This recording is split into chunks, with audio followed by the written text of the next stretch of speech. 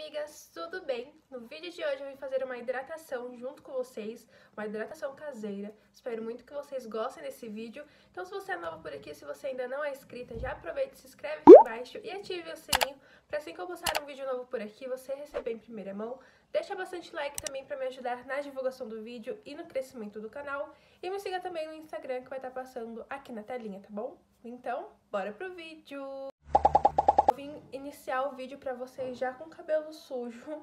Eu fiz é, a, uma etapa sexta-feira passada, né? Hoje é segunda, então meu cabelo ficou sem lavar aí sábado e domingo, tá? Então ele já está começando a ficar oleoso, meu cabelo é oleoso, tá? Na raiz.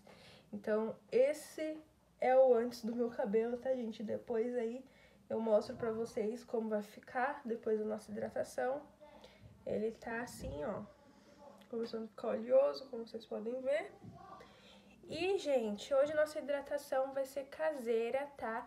É, nós vamos usar aí é, dois ingredientes que provavelmente vocês já viram no título. E, migas, o que, que eu vou começar fazendo com vocês? O meu pré-pool, tá? Eu sempre faço pré-pool. Eu uso esse creme aqui, ó, da Scala, é o coquetel de frutas, tá? Pego com uma colherzinha, ó, uma quantidade assim para aplicar no comprimento e nas pontas, tá? Por que, gente, que é bom fazer pré-poo?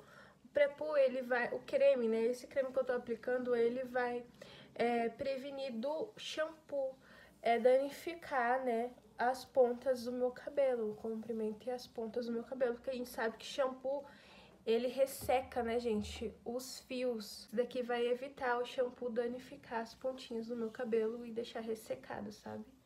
Então é muito bom. Aí eu aplico e deixo esse creme agindo no cabelo, gente, por uns 10, 15 minutinhos, tá? E aí, gente, na hora da lavagem eu vou fazer o quê?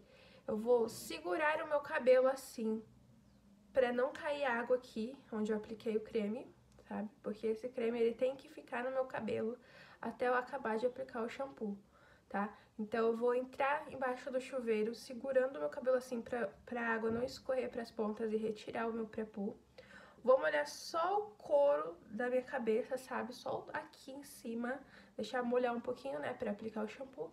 E aí sim, eu aplico o shampoo só na, na minha raiz, tá, gente? Ó, massageando o meu couro cabeludo, somente o couro, tá? E pronto, gente. Aí depois eu venho aqui mostrar pra vocês a nossa hidratação. Então eu vou esperar aqui esse creme agir no meu cabelo uns 15 minutinhos, tá? Eu vou voltar com o meu cabelo já limpo, é, já lavado, né, com shampoo. O shampoo que eu vou usar vai ser esse daqui, ó, da L'Oreal. Esse daqui da linha Hidra Hialurônico, né, da Elseve. Vou lavar o meu cabelo duas vezes com shampoo e eu volto aqui pra gente fazer a nossa hidratação juntas. Amigas, voltei, lavei meu cabelo duas vezes com shampoo, tá? Agora vamos lá pra nossa hidratação. Peguei um potinho aqui.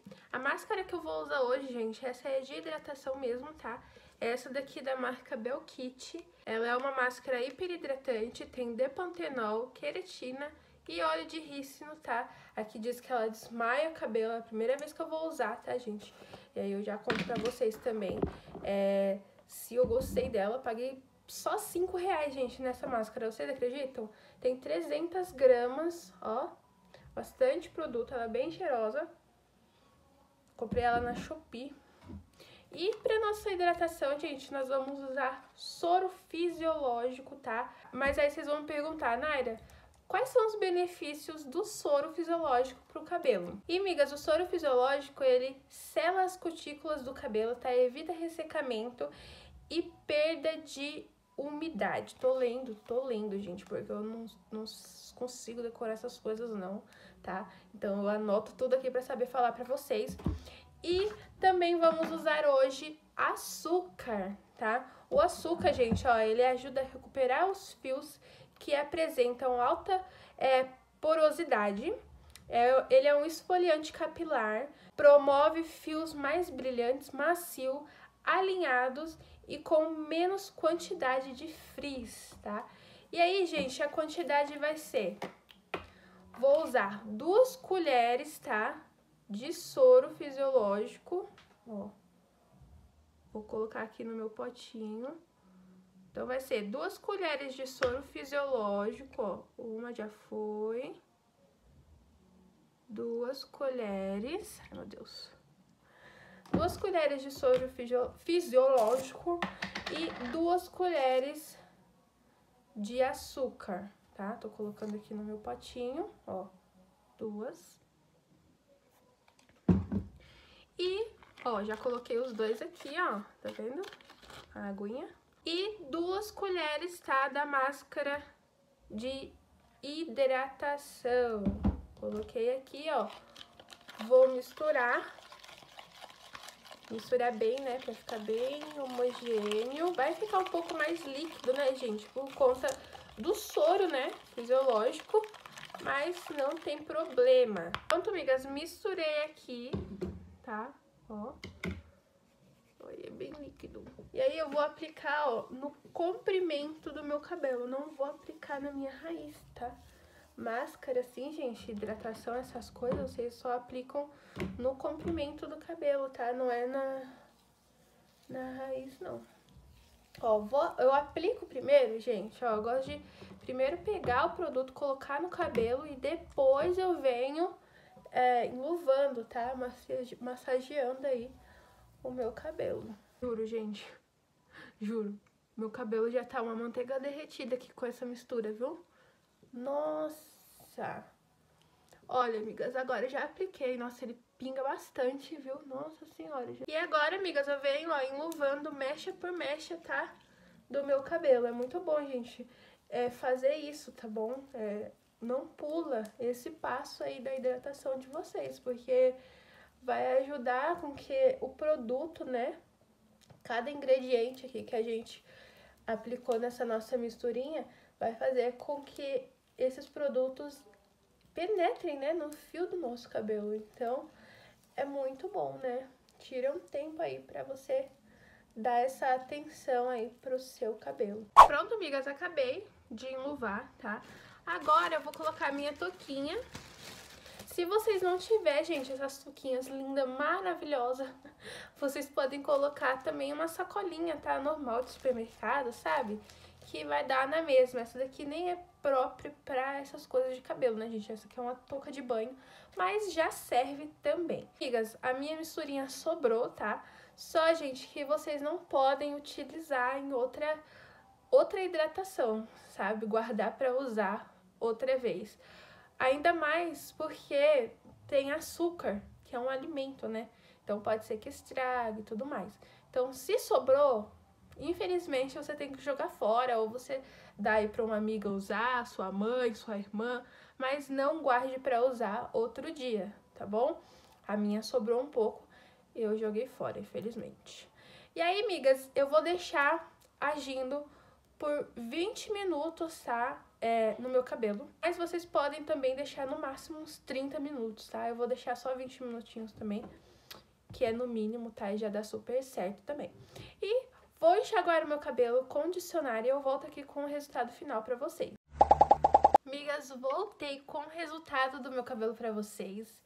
Deixa eu falar pra vocês o que eu usei, tá? Eu condicionei, tá, gente? Usei esse condicionador aqui da Elseve, da mesma linha do shampoo que eu usei, tá? Apliquei nas pontas do meu cabelo. E pra secar, gente, hoje eu sequei com secador, tá? Geralmente eu deixo ele secar naturalmente, porque eu tô tentando evitar ao máximo, né, nesse cronograma que eu tô fazendo, assim, de cuidados. É, eu tô tentando evitar ao máximo usar fonte de calor no meu cabelo. Então, geralmente eu deixo ele secar naturalmente. Mas hoje, como eu tô gravando aqui pra vocês, eu queria já secar ele, tá meio friozinho, sabe? Se eu deixar ele secar sozinho, vai demorar. E aí, pra secar o meu cabelo, eu usei, ó, é, esse produto térmico aqui, dessa marca Belkit, tá? Usei ele, ele é muito bom, ele não pesa o meu cabelo, tá? Ele é bem cheiroso também, ele é bom pra várias coisas, tá, gente? Não só, não somente é uma proteção térmica, né? Ele é bom pra controlar o frizz, ele é bom pra desembaraçar o cabelo, várias coisas, tá, gente? Repara os fios danificados, previne pontas duplas, várias outras coisas. Então, ele é muito bom, tá? E, gente, eu, eu, eu normalmente também aplico, assim, acabei de secar, aplico aparadorzinho de pontas no comprimento e nas minhas pontinhas. Só, gente, que meu aparador de pontas está no carro do meu esposo, tá? Porque ontem eu apliquei, eu aplico sempre de manhã e de noite, e aí, gente, precisava sair, e aí eu só peguei o óleo e levei pro carro, sabe? Pra mim aplicar no carro, aí acabei esquecendo no carro. Mas assim que ele chegar, eu vou aplicar meu olhinho, tá? E é isso, gente. Olha, eu vou mostrar agora pra vocês o resultado do meu cabelo. Olha, gente, esse brilho do meu cabelo. Meu Deus, que coisa linda. Olha, gente, tá soltinho, ó, como vocês podem ver. Tá levinho meu cabelo, muito hidratado, sabe, com é, aspecto assim, sabe, ao toque, eu consigo sentir que ele tá bem é, hidratado, sabe? Brilhoso, né, gente? Que brilho é o que não falta aqui nesse cabelo, olha isso. Tá muito macio, cheiroso, as pontinhas estão bem bonitinhas, sabe? Sem minhas pontinhas, gente, não tá com ponta dupla, sabe? Estão hidratadas, não estão ressecadas. Então, assim, amei essa hidratação de hoje, tá? Espero que vocês tenham gostado também. Façam, tá? Somente façam, porque é muito boa. Amei o resultado, o cabelo tá bem gostoso, sabe?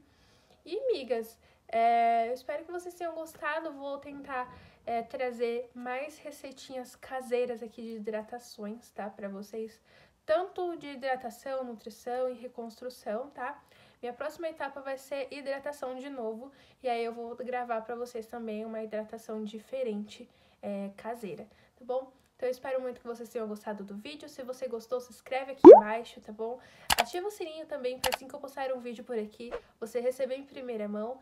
Deixa bastante like também para me ajudar na divulgação do vídeo e no crescimento do canal. E me siga também no Instagram, que vai estar passando aqui na telinha, tá bom? Então foi isso. Um beijo e até o próximo vídeo. Tchau!